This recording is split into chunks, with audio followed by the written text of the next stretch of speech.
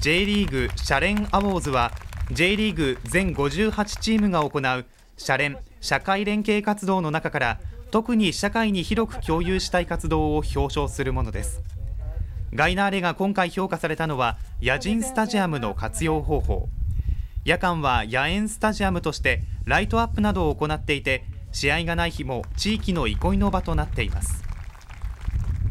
ホームタウンの中でどれだけ必要とされる存在になれるかっていうのがすごく重要だと思うんですよね。でそういった意味でこの社会連携活動を通して地域の皆さんとつながってそれがサッカーをやる上での応援になって強くなるっていう。ガイナーレはこれまでもこうした取り組みが評価されていて今年で3度目の受賞。スポーツを通した人づくりまちづくりを目標に今後も活動を続けるということです。